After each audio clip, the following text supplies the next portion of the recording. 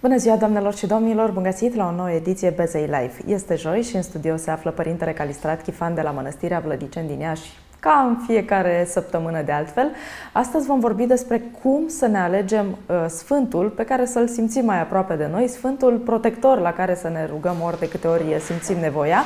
Uh, vom vorbi inclusiv și despre faptul că există anumiți sfinți din calendar pentru care credincioșii au o dragoste mai aprinsă și un devotament mai pronunțat decât pentru alții.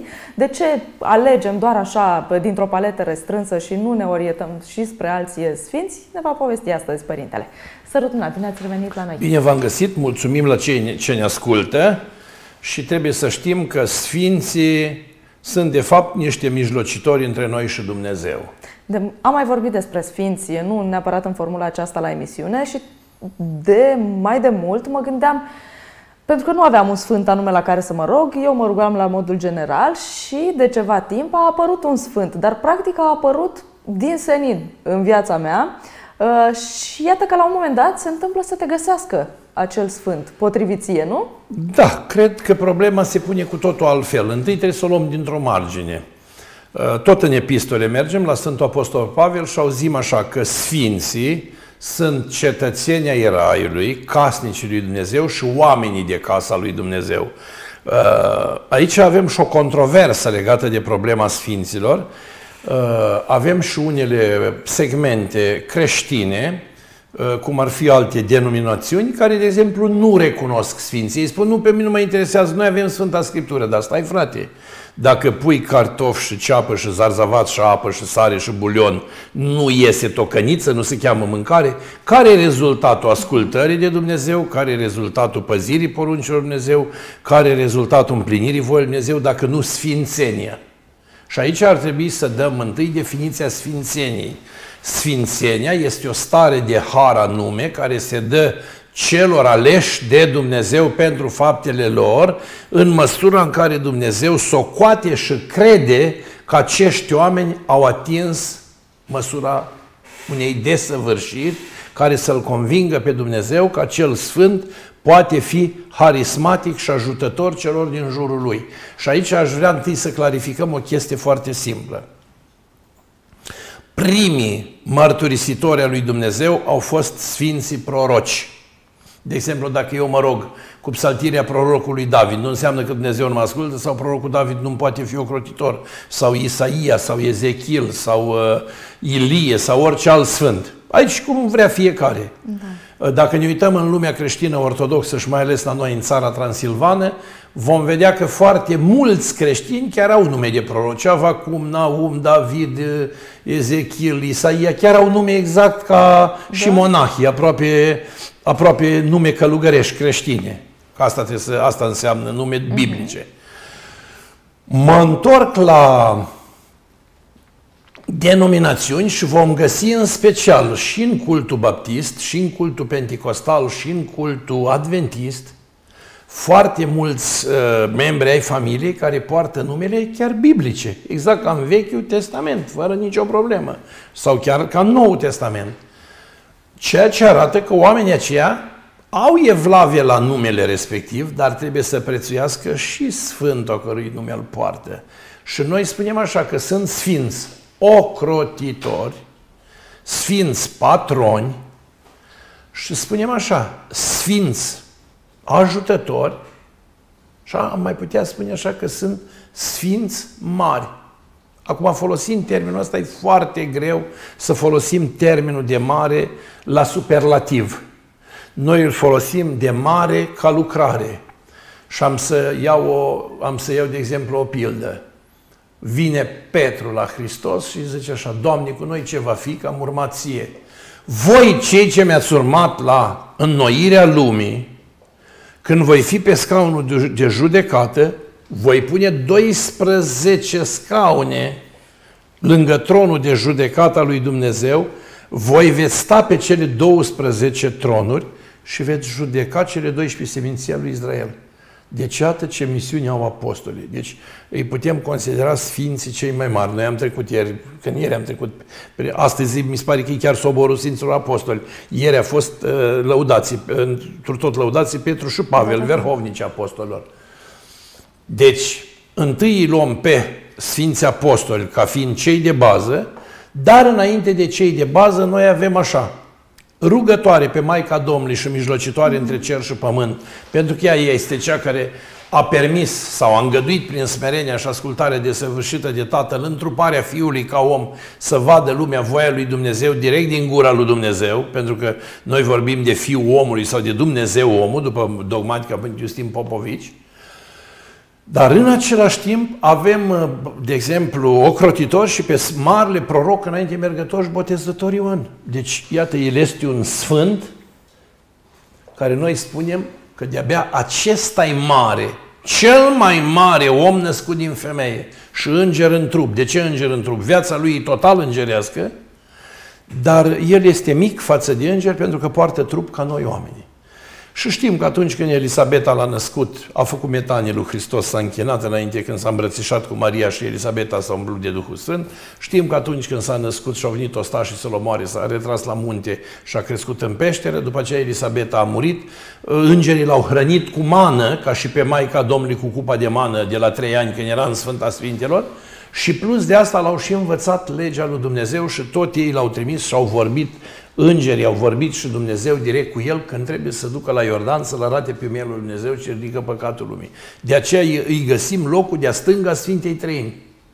După aceea putem vorbi de ierarhii mărturisitori și aici aș mărturisi cei trei mari ierarhi și dascăle ai lumii, așa cum avem din Sinaxarul Constantinopolitan și din Vețile Sfinților, pe Vasile, Grigore și Ioan, care și ei la rândul lor în vremea veții lor, atunci secolul 3, 4, 5, au creat acea rumoare între credincioși.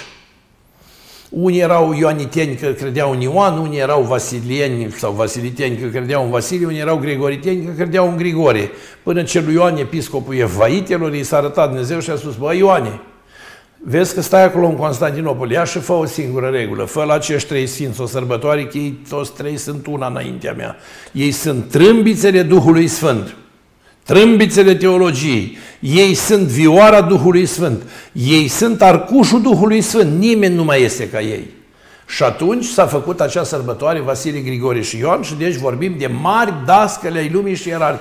Aici nu l-am putea exclude pe un Simion, nou teolog, nu l-am putea exclude pe un părintele Stăniloae, nu l-am putea exclude pe un Florovski, nu l-am putea exclude pe să spunem așa, din mari, mari teologi, Simion, nou teolog, nu l-am putea exclude pe Sfântul Grigorie Palamaș și mulți da, alți. Da, da. Lui Grigorie Palamaș chiar îi se spune prea Dumnezeitul la minte.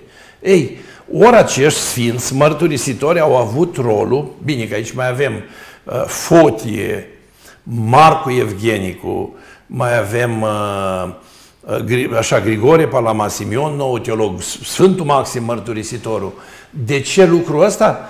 Ca să înțelegem că biserica a avut nevoie de apărători ai dogmei subțiri. Deci biserica nu e numai colacul, parastasul, crucea, mormântul. Astea sunt monumente ale tradiției, care fac parte din uh, practica bisericească, dar teologia propriu-zisă este cunoașterea profundă a Sfintei Scripturii. Asta înseamnă teologia propriu-zisă. Revelația supranaturală mai presus de fire. Și aici acești mari dascări ai lumii, ca Atanasie cel Mare, ca Grigore Teologul, ca Grigore de Nisa, ca Grigore Luminător Armeniei celei mari, ca uh, Grigore Dialogul Papa Romei. Deci ăștia au fost mari, mari, mari, Vasile cel Mare, mari trăitori. Dar în schimb, de acum sunt sfinții noștri uh, populari care au fost oameni din viața poporului. Toată lumea îl cinstește pe Sfântul Gheorghe pentru că era tânăr, frumos, era mucenic și era luptător și a dat viața pentru Hristos și el e cunoscut în lume cu, cu, acea, cu acea întâmplare cu Balauru, care era acel dragon care mânca câte un om pe an și se retrăgea acolo într-o peșteră și oamenii ca să aibă liniște în ținutul lor, fiecare în, a, în an renunța la un copil și îi dădea lui un copil numai să doarmă acolo în peșteră. Să... Și Sfântul Gheorghe se arată din văzduc, deja era mort, era martirizat și când vine la rând fica împăratului, fiindcă împăratul era credincios, se ruga Dumnezeu să facă o minune, a venit Gheorghe și a străpuns balaurul. Și noi de atunci avem mare vlave la Sfântul Gheorghe. Bine, Sfântul Gheorghe mai are și un rol în lumea populară. Când e sărbătoarea Sfântului Gheorghe, se fac focuri ca să alungi frigul și să vină căldura primăverii. Să poți să încălzești pământul și să te apuci de semănat. Și primul semn este când brusturile cât palma plantezi porumbul. Semne populare. Da, da, da. În schimb, acest nume de Gheorghe este atât de mare în lumea creștină și este atât de sărbătorit și este atât de adulat că în tot Ierusalimul, dacă te duci la toți creștinii, deasupra casei, la intrare, au o iconiță sculptată din piatră cu Sfântul Gheorghe. Adică că sunt gata oricând de jertfă. Atât e de mare da, Sfântul da, da. Gheorghe. Uh, mulți îi poartă numele uh, cu toată demnitatea. Și aici vin derivatele. Gheorghiță, George, nu are importanță, tot de Sfântul Gheorghe e vorba. După aceea avem pe Sfântul Nicolae, arhipăstorul Mirilor Lichiei, deci un om care a crescut în lumea populară a satului, în Mira Lichiei, care a fost crescut de unchiul său, purtat la școală de unchiul său, dat la școală de unchiul său, teolog făcut de unchiul său, el l-aș ajutat să ajungă preot pentru că era episcop la Patara acolo, după aceea tot el îl face și îl face și episcop și rămâne în locul lui.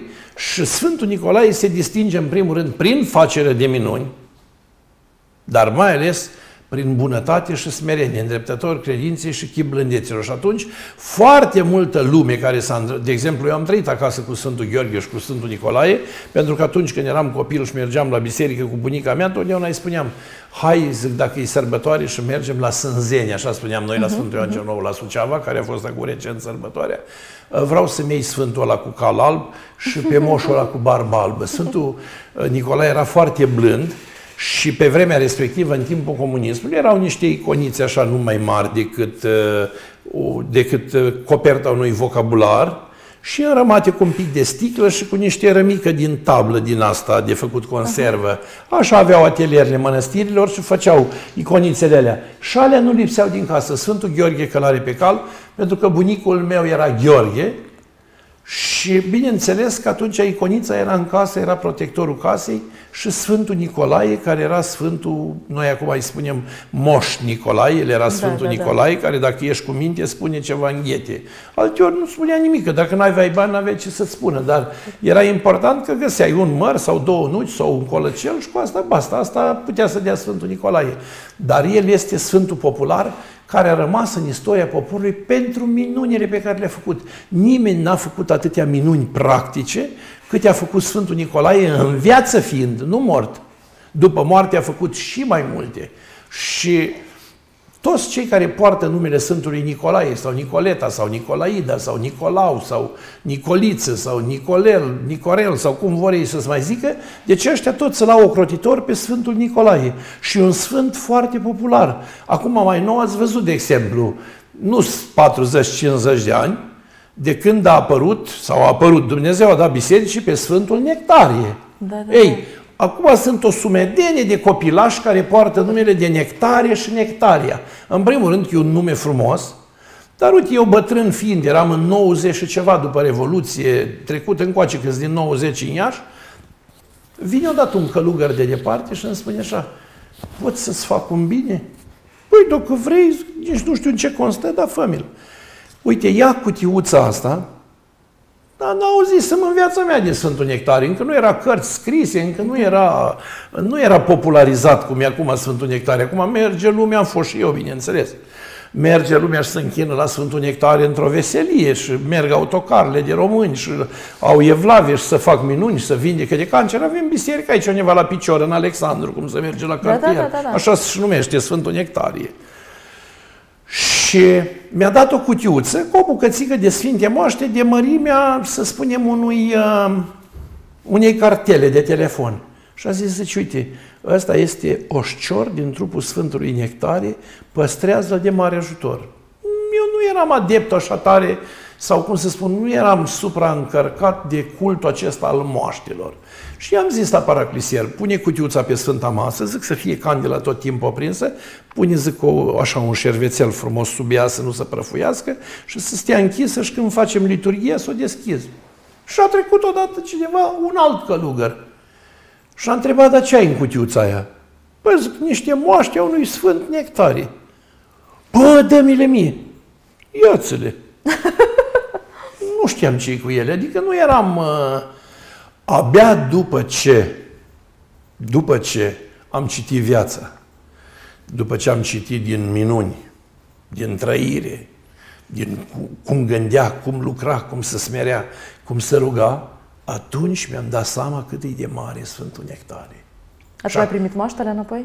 Nu, nici nu mi-am dorit. De câte ori am nevoie, mă duc și mă închin aici, la pod, la... La, la Biserica părin... Nouă, nu? Cea la mare de acolo. Biserica noastră, asta mare, frumoasă, la, în la pod, în Alexandru. Uh-huh. Și nu, nu neapărat dacă aș primi de undeva, e evident că m-aș bucura, dar alea le-am dat. Și probabil, ce a zis Sfântul? Bă, dacă tu nu mă știi cine, stați că mă ia cine mă știe. Dar n-am avut părere de rău că uh-huh. i le-am dat. În schimb, cel mai marcat, ca să zic așa, ca fapt divers, ca să vedeți de ce spun că un sfânt e un sfânt și nu e oricine.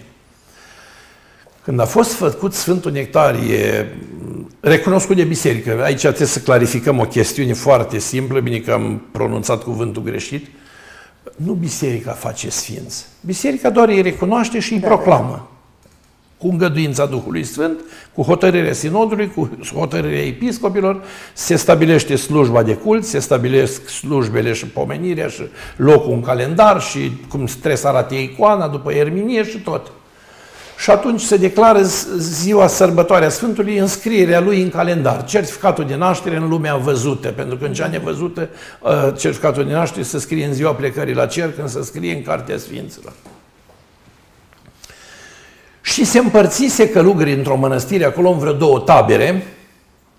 Unii îl recunoșteau de sfânt, unii nu îl recunoșteau de sfânt. Starițul era undeva la mijloc. Cum veneau unii și îl influențau, iar n-ar mai fi vrut să-l pomenească pe Sfântul Nectare. Cum veneau unii și îl, uh, iar îi vorbeau frumos, starițul iar se încălzea cu inima și a zis, mă, ca să nu greșim, haide să postim toată mănăstirea trei zile să vedem ce ni se arată. Și starțul și-a luat ceaslovul și s-a pus la chiliuță și a început să se roage acolo singur cu minte. Și în clipa următoare, repet, în clipa următoare, în una din nopți, din cele trei zile, aude în ușă cioc, cioc, cioc și zice, hai, intră. Și când se deschide ușa, intră Sfântul Nectare a Evia, el era de acum mort, era în racle, era împărțit, era sfânt. Și se lasă, părinte stare, nu mai chinui călugării să postească, că ori postesc, ori nu postesc. Ori mă vorbesc de bine sau de rău, pe mine Dumnezeu tot sfânt m-a făcut. Și starțul a spus, te rog să mă ierți, părinte Nectar, eu nu am nimic cu ta. Știu că nu ai, dar uite, vezi, te lași ușor influențat și uite, inima omului supusă spre greșeală. Dar să știi, nu am fapte de sfințenie atât de mari, încât să crezi că cei de pe pământ nu le-ar putea ajunge ca să ajungă la măsura mea. Dar mai mult, zice Dumnezeu, m-a făcut sfânt pentru că am avut răbdare cu cei răi care m-au prigonit și i-am iertat totdeauna de câte ori au greșit. Și s-a făcut nevăzut. Și starețul știu din ziua aia că Sfântul Nectar este Sfânt. Deci a avut adeverirea direct de la Sfântul. Și o altă întâmplare minunată, ca să vedeți cum lucrează Sfinții, că noi, uh, cum să spun, noi luăm minuni, eu nu cred în minuni de astea povești nemuritoare. O minune trebuie să aibă baza uh, constituită legal, spiritual, ca ea să fie minune. Într-un sătuc de munte undeva, aia chiar îmi place cel mai mult din toate, o am cel mai la Evlavia, aia m-a convins să cred că sunt un nectarii sfânt, întâmplat acum în anii 70-80, acum în zilele noastre, nu, nu știu când. Se duc, pentru că era într-o zonă săracă și preotul bătrân murise, se duc la episcop, la mitropolitul locului și spune așa, ne dați și nouă un preoțel să vină din săptămâna mare de la Florii să ne facă și nouă intrarea în Florii, să intrăm în săptămâna patimilor, săptămâna luminată și a spus, puneți o cerere că vă dau. Biserica aceea din întâmplare avea nea o icoană cu Sfântul Nectare și preotul de dinainte avea o mare evlavie la Sfântul Nectare și prin asta cred că evident și treceri la Dumnezeu. Pentru că într-o zi, luni înainte de denie, apare un preoțel cărunțel, scurt, cu o servetă în mână, cu rasa, cu bastonul și zice, eu sunt preotul care m-a trimis mitropolitul să vă slujesc aceste două săptămâni pascale a patimilor și a, și a cea luminată. L-au dus în biserică, preotul a deschis frumos Evanghelia, a scris ceva acolo, a semnat, nimeni n-a umblat, că acolo nu umblă decât slujitorul sfințit pe Sfânta Masă. Și în clipa următoare, ce credeți? A făcut atâtea slujbe frumoase, a spovedit toți oamenii, atâta de frumos i-a învățat și atâta, atâta l-au îndrăgit oamenii, că două săptămâni a gemut biserica de credincioși. Domnule, că a venit un preot pensionar să cunoaște că omul cu trăire rămâne om cu trăire. Și s-au gândit ei, dacă tot le-a făcut mitropolitul acest bine, să facă o scrisoare de mulțumire. Și s-au dus doi inși cu o scrisoare de mulțumire și cu un dar să o ducă mitropolitului. Mitropolitul, când i-a văzut în ogradă, de-abia atunci și-a adus aminte și a zis, fraților, vă rog să mă iertați că nu v-am putut îndeplini dolianța. Și că da, dar noi am venit totuși cu o scrisoare la dumneavoastră, haideți în birou. Și deschide mitropolitul scrisoarea și citește. În alt preasfințite mitropolit, cu evlavie, cu smerenie, cu credință, noi credincioși din satul cu tare, vă dorim multă sănătate, vă mulțumim din suflet, suntem profund recunoscători pentru tot binele făcut, dar am vrea, dacă ați putea, pe acest părinte pensionar care l-ați lăsat două săptămâni la noi să slujească, să ne-l lăsați de tot. Și mitropolitul deodată așa a tresărit și a zis, vă rog să nu mă ironizați, pur și simplu am uitat de cererea dumneavoastră. Promit că mă revanșez și vă trimit un preot. Pentru că n-am trimis pe nimeni.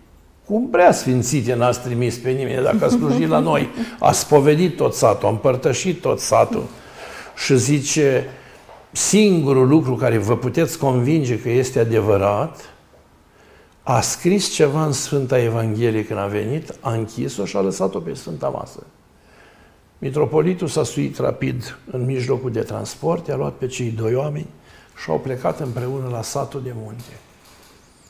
A deschis altarul, a intrat, s-a închinat și când a dat coperta Evangheliei, cu evlave, cu smerenie și cu dragoste am slujit în acest sătuc cu nepreotul de dinaintea mea, de dinainte m-a prețuit și m-a iubit și cu evlave și cu drag am slujit pentru credincioșii lui care îmi păstrează cu deosebită evlave icoana mea în biserică, semnat Nectarie, episcopul de Neftalo sau cum era el, de unde era el. A înghețat mitropolitul. și s-a dus în biserică să vadă dacă e icoana. Și a zis, voi știți ce e în icoana asta? Nu. Acesta e Sfântul Nectarie. Dar știți ceva în al presimțite? Preotul ăsta bătrân pensionar care ne-a slujit noi, exact cu el seamănă. Și atunci și-au dat seama oamenii că, de fapt, două săptămâni le-a ținut slujbele Sfântul Erar Nectarie. Deci, asta înseamnă puterea unui Sfânt. Așa, de asta noi trebuie să-i alegem patroni. Noi nu-i alegem patroni că ne plac, de exemplu, ați văzut acum, se merge pe noua ierminie bizantină, să faci icoana cât mai frumoasă. Evident că o icoană trebuie să fie uh-huh. nespus de frumoasă.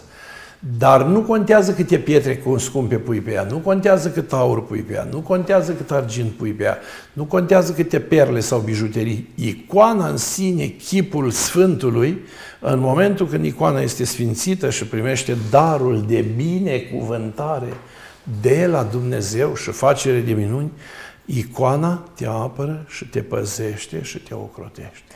E bine că ați adus în discuție, mă gândeam de multe ori, ai două icoane, vrei să-ți cumperi o icoană cu un sfânt. Una e mai ieftină, alta mai scumpă. Pe care o alegi? Că mă gândesc de multe ori să nu se supere Sfântul respectiv, că ar crede că te zgârcești. O iei pe cea care îți permiți, pentru că Sfântul are aceeași valoare. Materia se schimbă. De exemplu, un pictor îți pictează un metru pătrat cu 100 de euro, un pictor îți pictează un metru pătrat cu 300 de euro și tu evident că îl vei lua pe cel cu 100 ca să faci economia. Asta nu înseamnă că ah, e, e, desa, mai e uh, desacralizat pe sfinț. Mm-hmm. Înțeleg. După aceea, avem pe Sfântul uh, Ilie, cunoscut în popor ca cea mai mare evlavie. El e un proroc a Vechiului Testament. Dar toată lumea știe că aduce ploaia. Toată lumea știe că poate să trăsnească casa dacă lucrezi în ziua de Sfântul Ilie sau să uh, batjocorească holdele cu piatră sau cu ceva. Și atunci oamenii din Evlavie i-au alcătuit Sfântului Ilie acatist, i-au, i-au alcătuit slujba de rugăciune și cu toate că el este proroc al Vechiului Testament, este la fel de bine și de frumos cinstit ca și un sfânt al Noului Testament. Ioachim și Ana la fel. Da, da, da. Maica Domnului la fel. Mântuitorul Iisus Hristos la fel. Și toți sfinții. Deci, acum ce se întâmplă? Au ieșit foarte mulți sfinți noi. Au ieșit, s-au descoperit, că toți s-au găsit moaștele lor. Dar asta nu înseamnă, asta nu înseamnă că noi acatistierul acela care îl avem cu sfinți nu are valoare a oricărui sfânt ei citi, ei citi acatistul. Avem acatistul Sfântului de Serafim de Sarov, avem acatistul Sfinte Xenia de Petersburg, care e iară vindecătoare de boale, Sfintei Matrona de la Moscova, avem a icoanei Kazanskaya, avem a Sfântului ăsta, Alexandru din Zvir, care are moaștele atât de netede și de curate cum sunt mâinile noastre, real. Unele moaște se usucă și devin așa maronii, ca și cum ar fi crocante sau coapte ca niște stafide. Ei, ale lui sunt rămase și în ziua de azi să văd venere cu sânge prin piele, adică cum au rămas nemișcate. El este, el este cel care a văzut Sfânta Treime asemenea Patriarhului Avram. Deci la asemenea înălțime a ajuns. După aceea, Uh, oamenii din Evlavie sau din uh, diferite condiții, noi nu putem ști, au creat tot felul de acatiste, de exemplu. Avem acatist la necaz, acatist la durere, la vreme de năprasnă, de mulțumire către Dumnezeu Atotputernic. Sunt rugăciuni literare, sunt uh, folositoare bisericii, bune de citit, dar nu înseamnă că dacă tu ai citit Paraclisul Maicii Domnului sau Acatistul Mântuitorului, te-ai lipsit cu ceva că n-ai citit da, da, acele da, da. acatiste. Dar dacă tu ai evlavie la un sfânt, uite, Marele Spiridon, mm. cel mai mare sfânt făcător de minuni, vă spun, când am venit aici în Iași, în tinerețe, era Biserica Sfântul Spiridon, dar nu avea un cult deosebit din privința asta. A avut un preot foarte vrednic pe părintele Nicolae, l-a chemat Stoian. Deci, pe el l-am prins în 91 la Sfântul Spiridon și asta mulți ani. Acum cred că e pensionar, e altcineva. Și vreau să spun că eu dădeam la oameni să citească acatistul Sfântului Spiridon, dar ei nu știau, nu știau de ideea de acatist. Ei scriau un pomelnic cu numele lor, puneau niște bani și se duceau la Părintele Stoian și dădeau acatistul la Sfântul Spiridon în oraș, în curte, la da, da spital, da, da, da. la un spital universitar, la UMF.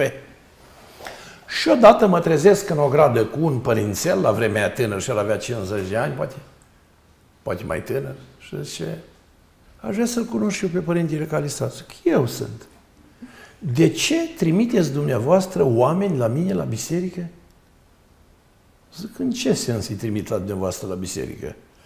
Păi zice, eu sunt la Biserica Sfântul Spiridon din curtea orașului Iași, din uh, curtea, din Spitalul centrul orașului Iași, da, din, din curtea spitalului central aici la Iași, la universitar, și zice, vin tot felul de oameni și spune, părintele ne-a spus să punem acatist la Sfântul Spiridon. Foarte bine că au făcut treaba asta, eu le-am dat să citească acatistul la Sfântul Spiridon. Și vreau să spun că în vreo 2 sau 3 ani, pur și simplu, Biserica Sfântul Spiridon chiar a devenit ultra neîncăpătoare și ultra căutată și ultra știută de toți credincioșii. Și aici nu spun eu că doar și până la mine a fost Sfântul Spiridon și de la mine va fi. Dar spun că la vremea respectivă, după Revoluție, pot să spun că eu am fost cel care am deschis uh, ideea că lumea știa doar de rugăciuni din astea scurte, simple, da, da, dar da. eu uh, știind de la Părintele Cleopa din 85, din 86, din 87, din 88, din 89, știind câte povestea de Sfântul Spiridon, m-am îndrăgostit de el și am început să-i fac acatistuși de 3, 4, 5 ori pe zi când nu aveam ce face. Și vreau să vă spun că a făcut minuni cu carul. Da, da, da, minuni, mulți oameni. minuni cu uh-huh. carul. Ei, și gândiți-vă că acest sfânt, un simplu om însurat, preot de mir, cu preoteasă, i s-a născut o fată, Irina. Soția a murit de tânăr, el a fost crescător de capre și de oi, el a singur și-a educat copila, copila a murit și ea de tânără și atunci când n-a mai fost episcop în zona respectivă, fiind un loc sărac, nu s-a grăbit nimeni să ocupe episcopia și toți au zis poporul, bă, Spiridon să ne fie episcop. Și Marele Spiridon s-a arătat adevăratul Spiridon. Și uite, ca să vedeți ce putere are un sfânt adevărat, ce înseamnă sfânt adevărat, că noi și acum mai N-aș vrea să folosesc un termen aspru. Și acum vrem așa cumva în fugă să-i sfințim pe toți. Nu merge.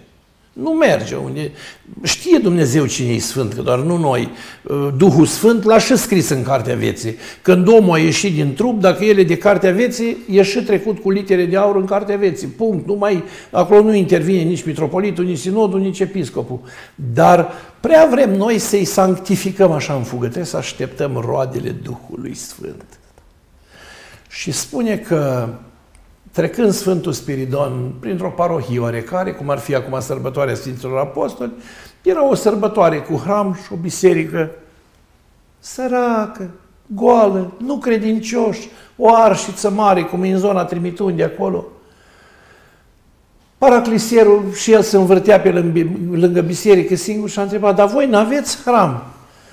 Ba da, sfinția ta, dar nu-i tu ulei de candelă, nu-i tu un credincios, nu sunt bani, nu avem cu ce ne discurca, nu avem cu ce cumpăra. Preotul de-abia își duce și el trai, muncește cu ziua la câmp. Oamenii nu vin la biserică. Și a zis Sfântul, nu se poate așa ceva. Omul sfințește locul. Omul e cel care dă Duh locului și îl face sfânt. Omul cheamă pe Dumnezeu pe pământ. Și a spus, adă-mi un vas. Pune-l sub icoana Maicii Domnului. Și a spus așa, prea sfântă Fecioară, dacă rodul măslinului a fost rodul împăcării cu Dumnezeu și tu ai fost porumbița cea vie, care a dus rodul măslinului în ciocul lui noi în corabii, ai grijă și de biserica asta. Și s-a umplut candela Maicii Domnului cu un lemn și a curs, și a curs, și a curs, până a umplut tot ciubărul ăla cu ulei. Și a spus, uite, ai ulei pentru candelă, într-o clipeală de ochi se m-a prins toate candelele a aprins candele și a zis, fă cadelnița. Și a pus Sfântul Spiridonie Pitrafirul și a luat toiagul și a pus omoforul și a început să cădească. Și a zis, prea sfinția ta, dar nu avem cântăreț la strană. Te-am întrebat eu pe tine de cântăreț. Tu ești cu lumânarea, trage clopotele. Sfântul Spiridon, cum începe privegherea, se cădește frumos din fața Sfintei mei, se roate, se iese prin ușile împărătești, se merge în spate și la un moment dat preotul care este de rând, în timp ce cădește, spune Sculați-vă! Și când se întoarce înapoi și ajunge în fața Sfintei Mese, spune Slavă Sfintei și cele de o ființă și nedespărțite și de viață făcătoarei trăimi.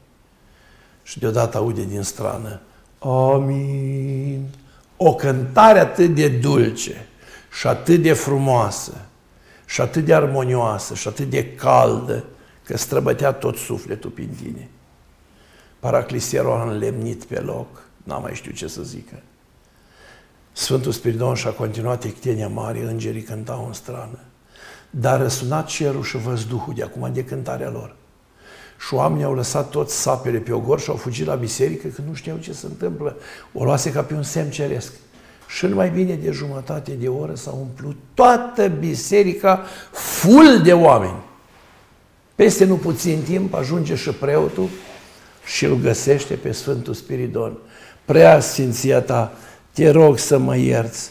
De ce n-ai dat drumul, părinte, la slujba privegherii? Nu știi că ai hram?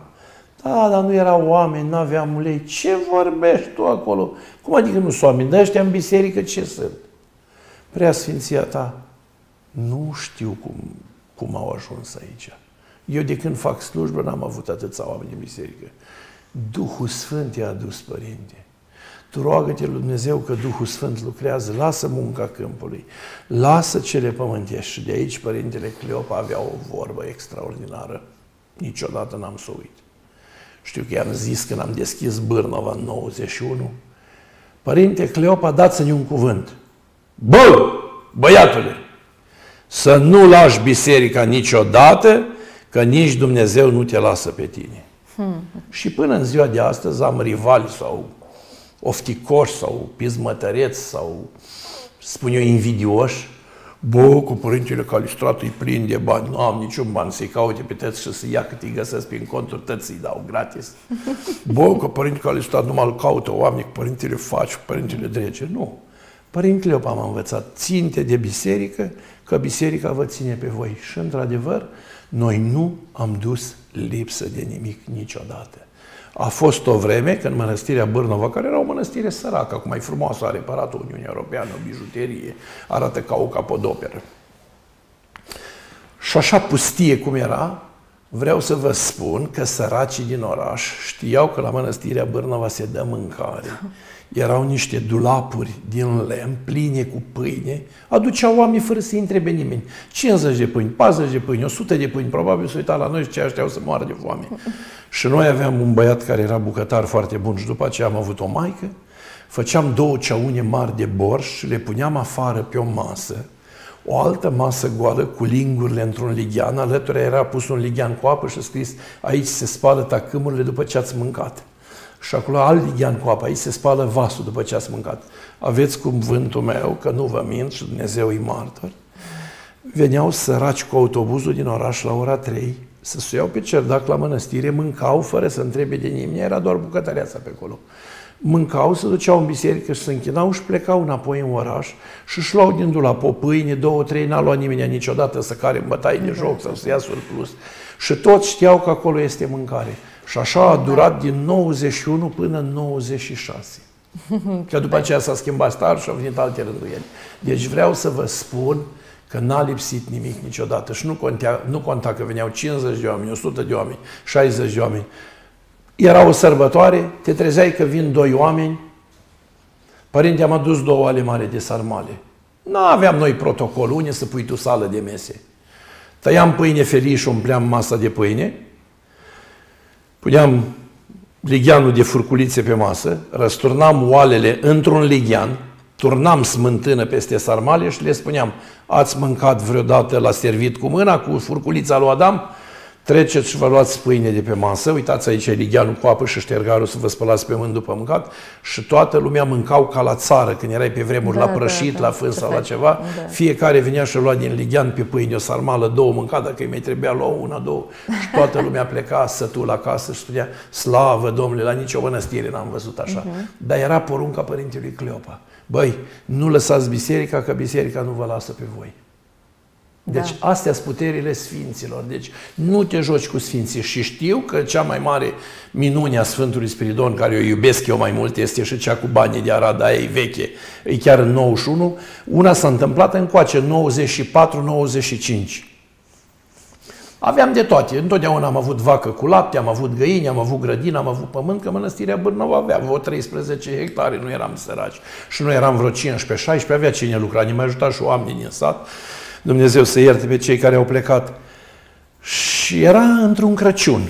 Și aveam o, o maică rea la bucătărie. Ele așa când bătrâne devin uh, scârboase, devin rece așa și în loc să fie blânde și bune, devin da, da foarte da, da, agitate așa. Și zic, maică Gabriela, zic, fă tu un dulce ceva de Crăciun, ce faci de mâncare? Nimic nu fac, o rahat să mâncați. Zic, bine, maică, las. Și am zis la băieți, hai să facem un acatist la Sfântul Spiridon în biserică, care are el grijă de ziua de Crăciun. Mi-am pus epitrafirul, mi-am pus mantea, mi-am luat cadelnița, am cădit biserica, am citit frumos acatistul, băieții au cântat la strană, era după utreni, era 12 noaptea. A doua zi seara pe la 9, că mănăstirea avea niște porți mari și niște ziduri mari pe care noi le încuiam, bate cineva în ușă insistent în poarta mănăstirii era cu o zi sau două înainte de Crăciun, era, nu se apropiase încă sărbătoarea ajunului. Mai trebuia o zi sau două. Și eu îi zic la cineva, du-te mă la poartă și deschide, că sunt niște oameni, cred că bate cineva. Băiatul vine și îmi spune, părinte, zice, un aro cu remorcuță și vor să intre aici la noi. Păi dă-le drumul, mă, zic, dă la de la poartă și lasă-i să intre. Apar niște oameni, erau din zona Calafindeștiului, a Sucevei. Și au zis așa, părinte, am auzit de mănăstirea asta și zice, umblăm de patru ceasuri, am nimerit la Cetățuia și ne-am spus că nu-i Bârnova. Am nimerit la Hadâmbu și ne-am spus că nu-i Bârnova. Am nimerit la Hlincea și ne-am spus că nu-i Bârnova. Păi zic, dacă ajuns, dacă ajuns acolo, ce s-a rămas acolo? Nu. Noi ne-am hotărât că am auzit de mănăstioara asta că e mai săracă și am vrut să aducem daruri de Crăciun. Ce credeți că ne-au adus? Vreo 40 de cozonaci, un sac de zahăr, un sac de orez, doi saci de portocale, cum era atunci, pe 94, ne-a adus uh, caș, ne-a dus ceapă, ne-a dus cartofi, ne-a dus ulei, ne-a dus de toate. Deci au adus oamenii ceva, ca să spun așa, cum ar fi valoarea acum, poate de 1000 de euro. Și a zis, părinte, seara asta nu plecăm, că e târziu, e ora 10-11. Le-am dat drumul și au dormit în trapeză pe jos, le-am pus plapeme și au plecat dimineața. Și am zis, mai că vezi, nu e nevoie să mâncăm rahat, are grijă Sfântul ce să mâncăm. Nu mai trebuie un pic de credință. Și s-a supărat de la vorba aia și așa pleca de la mănăstire, n-a mai stat. Că adică noi am umilit-o chiar bătrână și cu experiență și adică noi o luăm peste picior. Dar, într-adevăr, Sfântul Spiridon știe să facă minuni. Ce? Și de asta spun, am băieți care îi cheamă Spiridon, uh-huh. am uh, băieți, în general eu pun Ioan când pun numele Vasile, uh, Teodor, Dumitru, Alexandru, Ana, Gabriel, Ioan, nu pun nume de astea. Dacă, de exemplu, botez și mă invită Sunt cineva la botez și pun un nume de asta ciudat, eu trântesc un ortodox. Am un băiat foarte bun, e profesor și pe băiatul lui îl cheamă Andrei. Mă rog așa și l-a ales el și Zic, măi, Andrei, dar zic, parcă iar mai trebuie un nume frumos la băiatul ăsta. Și i-am pus Ioan și el s-a supărat foc, bine. Păi, păi, cum v-ați permis?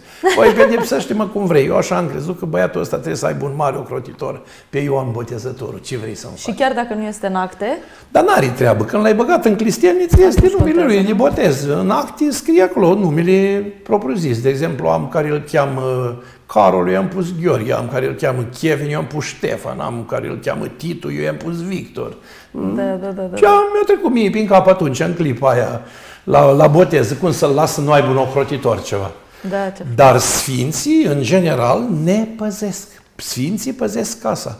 Era un paraclisier și își dorea foarte mult o icoană foarte mare cu un sfânt, Ambrozie. Mm. Avea ele mari evlavie la Ambrozie al Mediolanului. Și avea o iconiță mică, mică, mică și o purta el tot timpul la piept, dar mereu se ruga de un pictor renumit să-i facă și lui o iconiță mai mare. Și pictorul i-a spus, bă, dar dacă ai iconița aia mică până o termin pe asta mare la ea, nu te poți ruga. Măi, nu cred că Sfântul mă ascultă altfel când aș aprinde eu o candelă sau când aș pune eu o icoană la un sfânt din asta mai mare și așa. Și băi, frate, cum stătea el în biserică și făcea, făcea paracliserie la un moment dat noaptea, vine diavolul și le ia de spate. Ce faci, nenorocitule, aici? Vino să te strâng de gât. Și el să zmuncește și să prinde de, de un analog acolo în biserică și pune mâna la iconiță, la piept și spune Sfinte Ambrozie, salvează-mă! Diavolul s-a dat înapoi, s-a speriat, nu s-a mai apropiat de el, dar Sfântul, dar Sfântul Ambrozie îl întreabă. Dar acum ați bun, nu contează că e mică iconița, poți să te ajut? Adică ce se întâmplă? Poți să fie un sfânt cât de mic sau cât de mare noi când îl rugăm sau când ne rugăm lui, Sfântul respectiv are grijă de noi. Și în general ar trebui, eu așa le-am împărțit, de exemplu, dacă e o pagubă, este Sfântul Mina, dacă e o pentru luminarea minții, este Sfânta Ecaterina și Sfântul Spiridon, dacă e pentru cărățătorie, Sfântul Nicolae și Paraclisul Maicii Domnului, dacă e pentru boală, e Mihail Gavriliu, Ambotezătorul, Pantelimon și acum sunt sfinții ăștia noi extraordinari făcători de minuni care le-am simțit și ajutorul și folosul. Efrem cel Nou, Ioan Rusu, uh, Nectare de Eghina, tot timpul dau la citit la cei care au probleme. Uh, și să știți că au efect. Adică oamenii spun, părinte, m-am operat și perfect, părinte, am scăpat și perfect, părinte, m-am rugat și perfect, părinte, am făcut chimio și perfect, părinte, am trecut prin cancer și perfect. Deci mila lui Dumnezeu, nu noi. Noi ca preoți nu facem nimic decât proscovinim, nimic în plus. Dar sunt și mulți credincioși care vin inclusiv la dumneavoastră, așteptând să faceți dumneavoastră minunea propriu-zis. Nu, dar eu le-am spus tot timpul. Nu am, am, nu am, nu am, cum, nu am cum să fac minune dacă nu faceți următorul lucru. Eu am o pretenție foarte simplă. Ă, ăsta este... Eu am avut doi mentori buni. Spun eu așa, că părintele Sava, care nu m-a crescut, nu i-am fost fiu duhovnicesc, noi am stat un an împreună. Eu la omul ăla am văzut o modestie pe care n-am văzut-o la mulți călugări. N-am putut să o ajung vreodată. Poate dacă aș vrea să o încerc să ajung la modestia lui, aș avea foarte mult de lucru. 25 de ani a făcut liturghia singur la Maici, în fiecare zi. Și de la el am ascultat cea mai tare predică de pe fața pământului. El mă lăsa să predică, vedea că mie îmi place să vorbesc și a spus ei, la sărbătoarea asta mă las și pe mine o leacă să vorbesc. Și am zis, mă, ce vrea bătrânul să spună? Zic, poate vrea să mă smerească, să mă arate că spun aiurea, că nu spun ce trebuie. Sau nu, știu. nu, domnule. Bătrânul a avut o predică extraordinar de scurtă și la obiect și foarte interesantă. Și că, măi, dragii mei, sufletul vostru e ca o floare într-un ghiveci. Dacă îl pui în beci să usucă și să îngălbenește, că la suflet nu-i place întunericul ca și la floare, dacă îl pui în geam și îi dai lumină și căldură și apă, el crește frumos și înflorește că sufletul iubește lumina. Amin și Doamne ajută pe ziua de azi. și atunci mi-am dat seama cât de profund era bunelul Sava la 78 de ani și ce trăire avea el autentică a lui, acolo între maicile lui. El este trecut în convorbiri duhovnicești, unul sau doi, nu țiu minte în care, dar un om de un anonimat extraordinar, dar de o trăire impecabilă. Toată viața când venea la el o maică să plângea ceva, las mai să rezolvă, fac eu rugăciuni și să rezolvă. Și el îți vedea de treabă, tot timpul și-a căutat pace cu ele. Ele sunt acide, sunt orgolioase, sunt uh-huh. vanitoase, când se pun ele pe ambiții. Dacă te pui cu mintea femeii, nu o scos la capăt. Dar el, 25 de ani, a trăit acolo între ele, într-o liniște total de plină, desăvârșit ca un pusnic. Și după aceea, părintele Cleopa, care, părintele Cleopa spunea așa, nu există să cer ceva de la Dumnezeu să nu-ți dee dacă crezi. Du-te și te roagă, nu te văita. Uh-huh. Asta era vorba părintelui Cleopa. Bă, te-ai rugat? Da, frumos, da părinte, m-a rugat. Atunci mai roagă-te odată. Înseamnă că nu te-ai rugat cum trebuie. Uh-huh. Și Părintele Ilarion, un alt duhovnic tot foarte bun, care a murit la 80 ceva de ani, aproape 90 de un cancer, de la el am învățat cititul psaltire și el a fost cel ce m-a inițiat. El mi-a zis întotdeauna, mă, știi cum e Dumnezeu? E ca un tată care stă la masă și se uită la copilul lui cât e de răzgâiat. Când te prostești și nu vorbești cu el serios și nu-i arăți bărbăție și demnitate și curaj și nu-i arăți seriozitate, nu te bagă în seamă. Nu te privește, bă, tu ești mai muțoi în fața lui. Încearcă să fii serios. Încearcă să te gândești că se uită la tine cu seriozitatea aia așa care te pătrunde. Și dacă și tu devii odată serios și te rogi, ții să se împlinește rugăciunea. Și tot felul de lucruri le-am îndeplinit respectând acest lucru simplu. Da. Să, nu să-i spui lui Dumnezeu povești viitoare. Doamne, eu știu că Tu ai putea face treaba asta, dar chiar te rog să o faci că am nevoie de ea. Uh-huh. Și chiar o faci. Da. da. Ăștia sfinții și ăsta e Dumnezeu. Uh, spuneam la începutul emisiunii că sunt și câțiva sfinți, ceva mai cunoscuți, pentru care oamenii păi, au uh, Păi sunt sfinții, populari, sunt sfinții populari care au crescut odată cu biserica. Sfinții ai sinoadelor, sfinții ai sinaxarilor mari, uh, sfinți episcopi ai anumitor locuri și dacă luăm sinaxarele constantinopolitane și fiecare zi din calendar și citim, acolo e o căruță de sfinți. De exemplu, uite, cât știu de Epictet și Astion, cât știu de Zotic, Camasis, Filip și Atalos, care sfinții Dobrogi ocrotitori, cât știu de Maximilian și Dada, cât știu de Sfântul Neceta de Remesiana, cât știu de Sfântul Dionisie Exigu, cât știu de Sfântul Ioan Casian. Știu cei din neamul călugăresc, dar cei din neamul mirenesc da, da, da, nu știu cine De ce? Pentru că ei sunt, sunt sfinți asceți.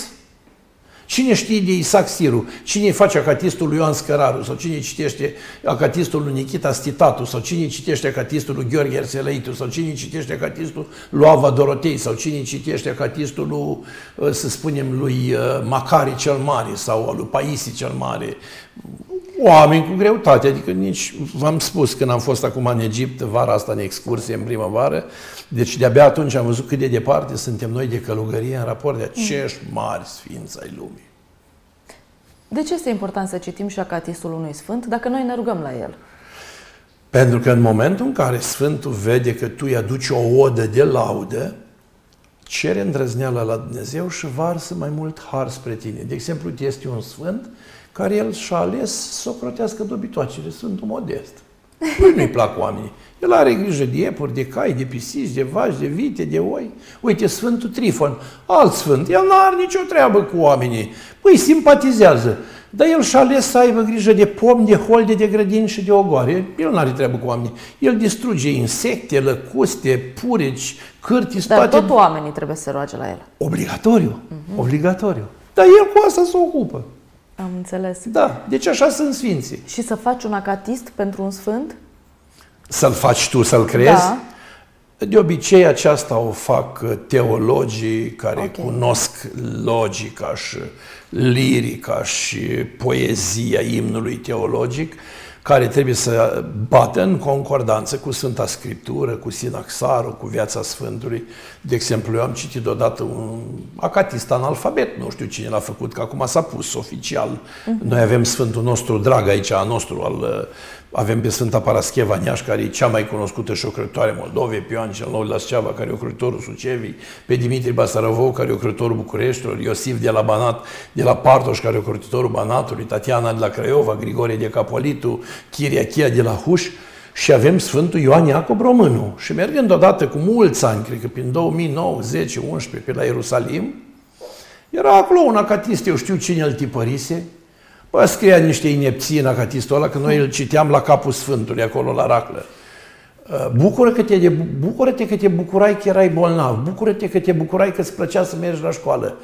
Și am zis, bă, nu mai citim asta, hai să cântăm troparul Sfântului și hai să cântăm, uh, să cântăm, uh, zic, uh, condacul Sfântului. Și m-am întâlnit cu părintele David, era un preot foarte cum se cade, care avea treabă cu Alersani și am spus, bre, ia vă caută tu pe la așezământul românesc dacă există sau în Ierusalim și du-mă acolo la Sfântul Ioan Iacob niște acatiste de astea făcute de biserică, de Sfântul Sinod, că tot felul de porcărie acolo, te și ia rușinea când citești acatistul ăla. Fiecare se trezește că are darul poeziei, dar un acatist trebuie să cuprindă niște chestiuni dogmatice, niște chestiuni teologice, niște chestiuni de revelație, nu așa tros. Plus mi-am făcut mie minte, hai să scriu un acatist. Uite, eu nu mi-am permis de când sunt eu să nu să scriu niciun acatist. Nici nu mi-a trecut prin cap că aș avea eu veleitatea de a face așa ceva. Da. Mă uitam pe Facebook, aici oamenii povestesc mai multe bă, minuni pe care le-au săvârșit bă, sfinții pentru ei și cineva întreabă, a zis că a avut o situație grea, s-a rugat foarte mult peste tot în țară, la toate mănăstirile, cum găsea uh, câte o mănăstire, se ruga la toți sfinții, s-a împlinit ceea ce a cerut, dar acum nu știe cui să mulțumească. Lui Dumnezeu și tuturor sfinților, okay. făcând acatistul Mântuitorului Iisus Hristos și acatistul tuturor sfinților care se face sâmbătă. Bun. Și prin aceasta i-a mulțumit pe toți, pentru că ce se întâmplă? Aici mai apare o chestiune de altă factură. Hai să vă mai spun eu o glumă. Uh, mi se întâmplă și mie treaba asta. Cred că este orgoliu firesc, pământesc. Vine un om cu o treabă.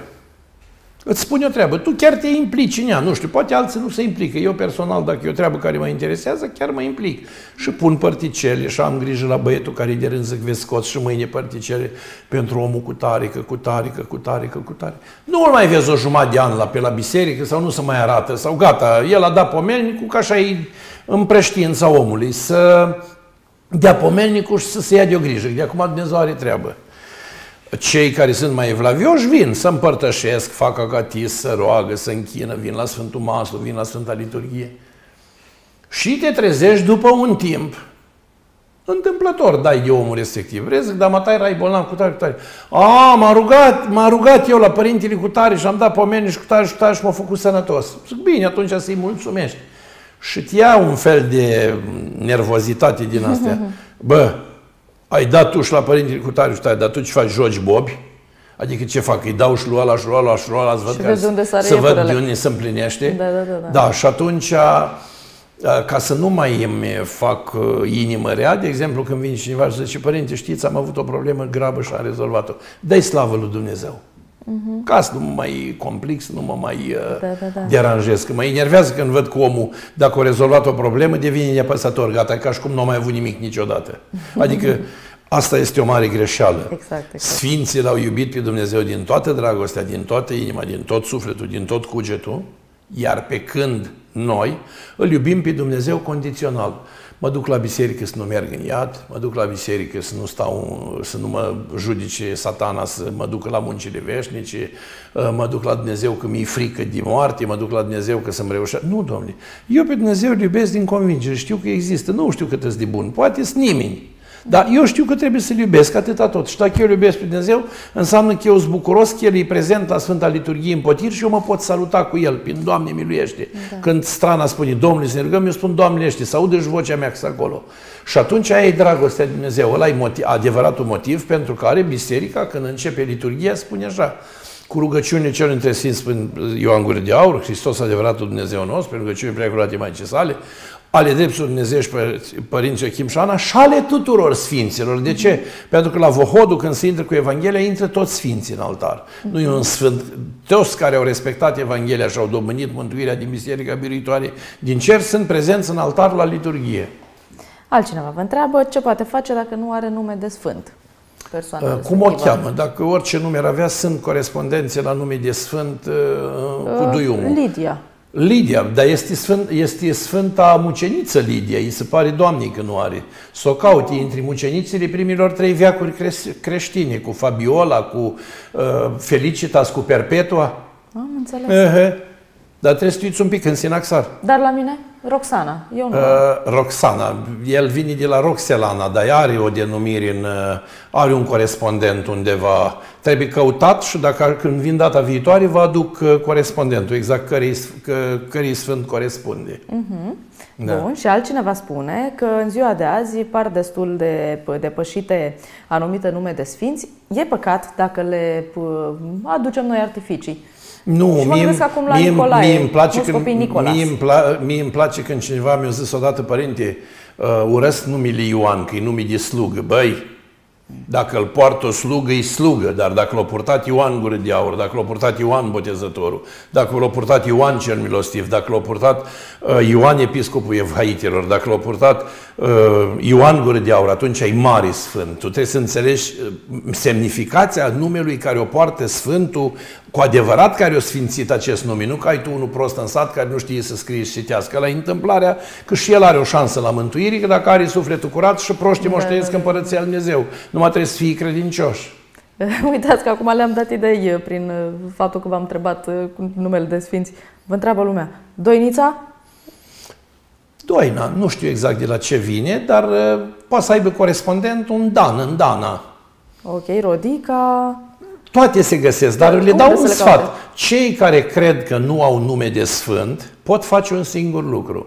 Să fie spovediți, împărtășiți, cuvioși, cuvincioși, evlavioși și ei vor fi primiți sfinți care vor rănoi calendarul cu numele lipsă. Ah, ce frumos! Bun, perfect. Care ar fi ideea de final? Ideea este așa, nu cântă biserica, Doamne, din am avea pe Sfinții Tăi rugători și bunătatea Ta milostivindu-se spre noi. Adică ce ne-am face? Uh, Sfinții sunt ocrotitorii pământului prin harul pe care, cu mila cu care merg ei la Dumnezeu și intervin. Și am să închei printr-o chestioară foarte simplă. Era un uh, călugăr foarte evlavios care avea evlavie la Sfântul Gheorghe. Și sta la chilia lui acolo liniștită și vedea de treabă, a venit moartea și l-a luat și când să plece, când să-l smulgă, a zis, Sfinte Gheorghe ajută-mă. Și a apărut Sfântul Gheorghe, a luat sufletul de mână și au plecat împreună la cer. Și nu-mi repet la fiecare ce spun. Când a intrat la cer, unul a întrebat, ă, ce cu tine, Gheorghe? Și cum la Dumnezeu? Da, dar el nu prea are voie să intre, e cu mine. Bine, atunci treaba ta răspuns. Să ajunge la cerul al nouălea. Cei de acolo îi spun, și da, asta nu știu dacă poate să meargă mai sus. Nu, e cu mine. Și intră în antecamera lui Dumnezeu. Și deodată aude următorul lucru. Doamne, Doamne, îmi dai voie să ajung până la tine. Tu da, el nu. Să aștepte acolo. Intră Sfântul Gheorghe înăuntru și îi spune așa Dumnezeu. Gheorghe, pentru ce ai venit? Uite, am aici un suflet păcătos și toată viața s-a rugat mie și și-a pus nădejdea mie și aș vrea să-l ajut. Gheorghe, nu pot să calc scripturile. Ți-am spus că și trânda, vine putin, ăștia care nu sunt nepăsători. Silitorii au împărăția Lui Dumnezeu. Doamne, dar pentru rugăciunii prea curate mai citare, tot nu pot. Dar pentru rugăciunii Sfinților Apostol, tot nu pot. Dar pentru rugăciunii martirilor, tot nu pot. Dar pentru rugăciunii tuturor erarhilor și mărțitori, tot nu pot. Doamne, atunci măcar pentru dragostea cu care m-am jertfit eu poți, pot într-un singur fel. Tot acum ți le iei din mână, îl duci pe pământ, îl mustri să-și schimbe viața și pe, peste 40 de zile le-au curat la mine. Și l-a luat Sfântul Gheorghe, l-a dus pe pământ, l-a scuturat bine spre ei. Să trag rușinii la Dumnezeu pentru tine, că ești puturoș nesimțit. Pregătește-te 40 de zile cum trebuie, că vin să te iau. Și a doua oară când l-a dus, l-a predat lui Dumnezeu și l-a băgat în rai. Deci asta face un sfânt. Da. Și răspunsul la întrebare, cum îl alegem? Pe scurt, Simplu. Dacă nu... Sfântul la care te-ai rugat dintr-o chemare lăuntrică okay. sau dintr-o stare lăuntrică sau dintr-o voință lăuntrică, el te va copleși singur și nu te va lăsa. Uh-huh. Deci el te alege, Sfântul te alege pe tine și te îndeamnă să te rogi lui, nu tu l-alegi pe Sfânt. Uh-huh. Mulțumim! Amin și Doamne ajută! Sărut mâna! Părintele Calistrat a fost la noi astăzi. Nu uitați să dați un like și un share uh, emisiunii și să rămâneți în continuare alături. Gentuța. Urmează două, alte două emisiuni. De la ora 15, Valentin Cuțanu vă invită la emisiune și de la 16, Georgiana Adam. O zi frumoasă!